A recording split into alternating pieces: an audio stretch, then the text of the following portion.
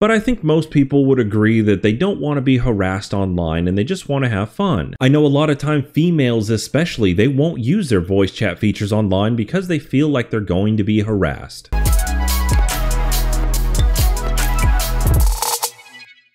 I think we've all run into this while playing online at certain times, especially when you talk about like Call of Duty or Battlefield or any other first person shooter that gets real competitive. And that is somebody who is on their mic or on the chat and they're just going nuts and they are just going off. They are going crazy. They're saying things like or